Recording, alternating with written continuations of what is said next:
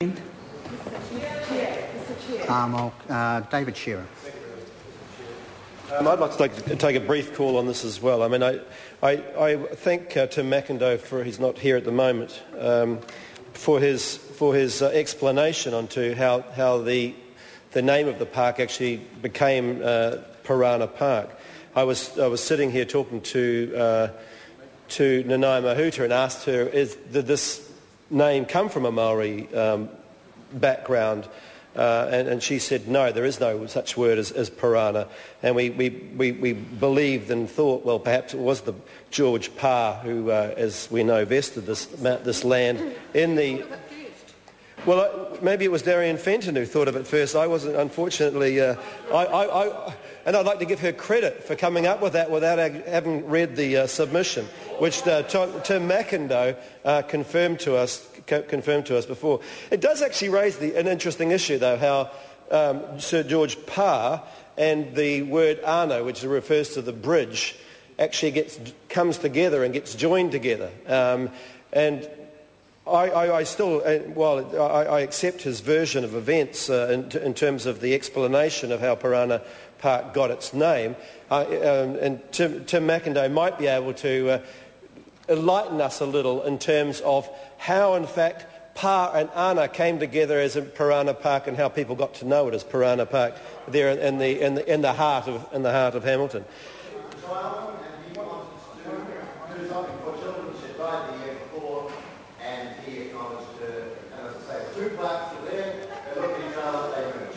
That's a, a, it's, a, it's, a, it's a very touching explanation. Thank you very much, Mr. Macindoe.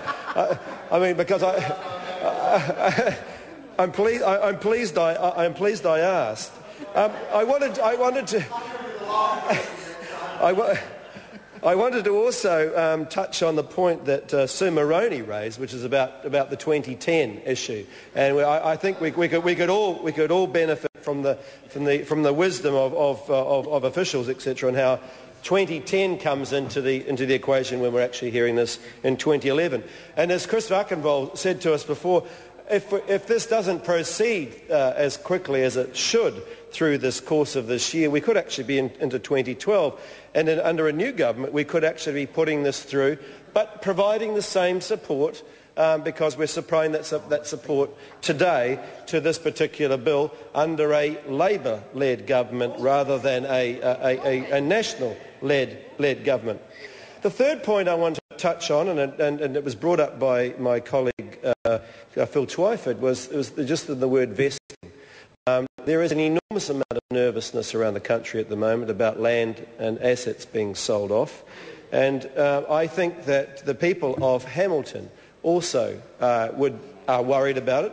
I don't think they are any exception when the opinion polls say between 65 and 70 percent of New Zealanders are, are, opposed to the selling off of, of, our state assets, then I would imagine that the, the, same, the same thing applies to land inside of Hamilton.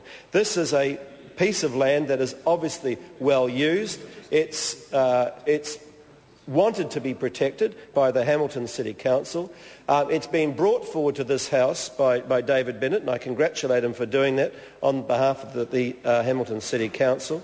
Um, it will hopefully ensure that this piece of land in the heart of, of, of, uh, of Hamilton that is being used for as we heard, kohanga for, for, uh, for various early childhood centres, for a number of, of different uses, is preserved uh, now and, and, into the future.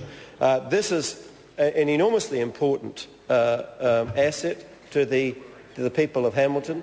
Um, and I think the people of Hamilton need to be absolutely and utterly assured and that that is the intention of this House in the word vesting to ensure that that stays with the people uh, in, in, Hamilton uh, for, so they can have the use of it uh, both now and, and long into the future.